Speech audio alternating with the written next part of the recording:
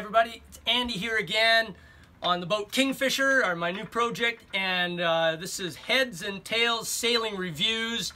Today we're going to tell you what the number one secondary anchor you can own is, which is a Fortress. And I'm going to explain to you why this is the best secondary anchor you can have. Uh, I've had several of them in different situations, and they are fabulous.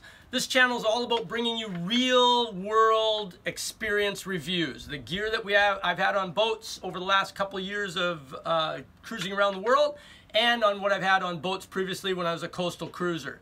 Uh, this is really kind of the nitty gritty. I'm not sponsored by any of these products. I just want to tell you guys what uh, is out there. If you have opposite views, definitely drop them in the little comments thing. Remember to subscribe and hit the bell so you'll get new uh, videos, uh, warnings about the videos all the time. And Heads and Tails Sailing Review is a subsidiary company of Heads and Tails Coaching, which is what I do normally to uh, afford cruising around the world. So, Fortress Anchor. Now, this is a 12 meter, which is a 39 foot catamaran.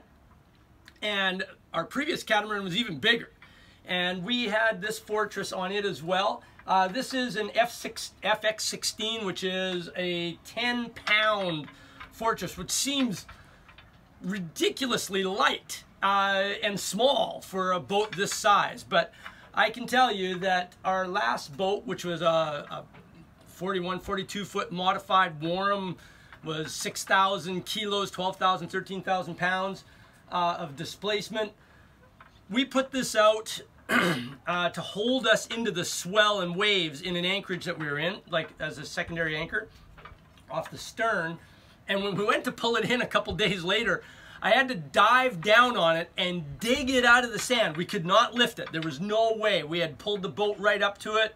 Uh, it would not budge. We had to dig this out of the sand to be able to lift it up. I even put a little lift loop at the back of it so we could pull it out backwards, but uh, no way. Uh, so if you're putting this down in sand or mud, know that it's gonna hold you, okay? And uh, the only thing that I've ever heard about these that, that is not good is you have to be very careful, not very careful, but you need to be aware of if you try to pull it out by twisting, um, it's not that good for them, but they will come.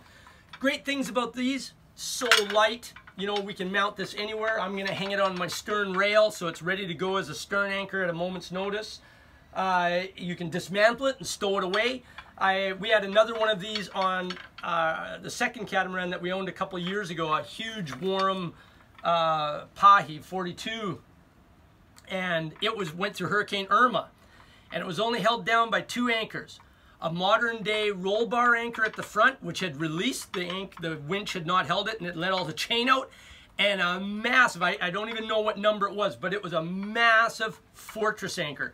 And it took me two days and three people to help get it out of the mud. We had to get a dredger, blow all the mud off of it and pull it up. But the shank was well over three and a half, four feet tall, and the blades were three feet long. Uh, and so it was down there for good if we wouldn't have blown it out. But the little Fortress, really good. It has two settings. It has a mud setting and a sand setting.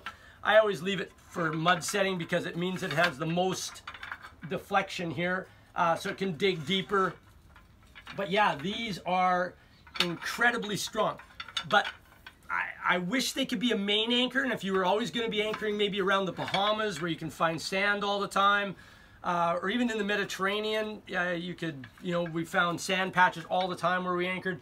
You could probably use this as your main anchor, but there's some instances, you know, grass, things like that, where you need a, a an anchor like a spade or a plow style anchor or one of the new generation roll bar anchors, Rockna, Mantus, something like that, which, you know, we've had a, a Mantus before, which worked very well, and we'll talk about that on another video.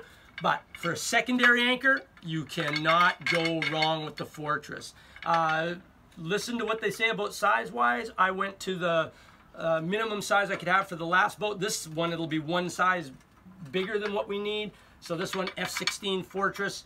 Uh, get yours today. I'll put a link down at the bottom of the video. Uh, you can buy them through Amazon. It's a little bit cheaper than usually your local chandlery, so make it happen. Anyway, this is Andy two thumbs up, or in my case, five thumbs up on one hand. Uh, for the Fortress Anchor as a secondary anchor, coming to you from Kingfisher, the new boat project uh, down here in Curacao. I will take you on a tour later this week of the boat and show you what needs to be done before we set off cruising the Caribbean again. Anyway, this has been Heads and Tails Sailing Review.